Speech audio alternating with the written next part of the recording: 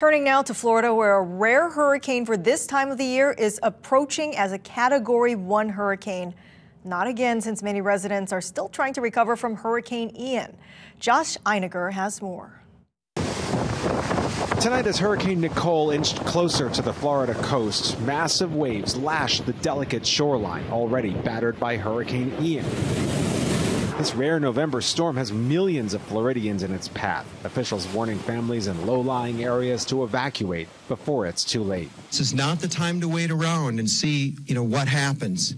By doing so, you're putting yourself at risk and your family's life at risk. In Daytona Beach, the powerful surge already obliterated a seawall, jeopardizing home after home. It's going to be pretty catastrophic for anyone that owns a property in this stretch and really on the beach at all in Volusia County. But in the saturated sunshine state, some of the worst effects may be inland, far from the beach, as ABC's Rob Marciano explains. Look at the whitecaps and wave action here on the Indian River. This isn't even the ocean, and this isn't even high tide. This seawall's taking a beating. Those houses in jeopardy. This road certainly going to be flooded tonight. In St. Johns County, they sought shelter and sandbags. We got a motorhome, so we're out.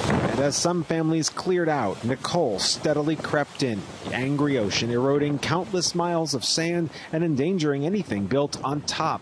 In Wilbur by the Sea, homes teetered on the edge as the water swallowed up porches, decks, and walkways. And on Lake Worth Beach, fierce waves toppled this lifeguard tower, tossing it around like a toy. Nicole made its first landfall this afternoon as a Category 1 hurricane in the Bahamas, inundating streets with up to four feet of storm surge.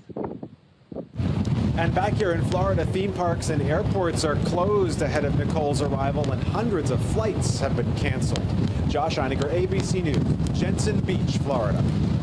KITV4 Chief Meteorologist Pete Caggiano has a new hurricane track just released moments ago. And Pete, the storm is just hours away from Florida, right? That's right. It is approaching yet again. We have another storm threatening Florida. You can see those rain bands moving in the outer bands of the eye only 30 miles away. Here's the latest track for Nicole. Should make landfall in the next few hours as a Category 1 storm. Coming up, we're going to track our weather as we head across the islands. We've got some big surf on the way.